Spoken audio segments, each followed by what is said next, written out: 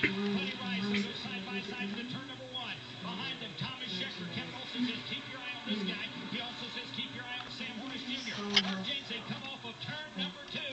Three wide, running for second place. Thomas Scheckter really trying the issue of turn number one, trying to jam up behind Danica Patrick.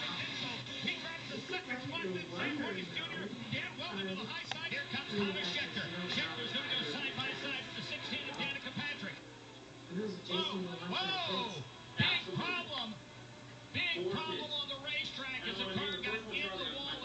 Collected one of the Red Bull Jeep racing cars. It's the 33 of Ryan Briscoe. Went quite a ride up along the fence, and uh, we were all pretty concerned. And uh, they brought him back to the hospital. He doesn't have a, no blood, no broken bones, no anything. I mean, he's just laying there. And I said, "You all right?" He said, "Yeah, I'm all right."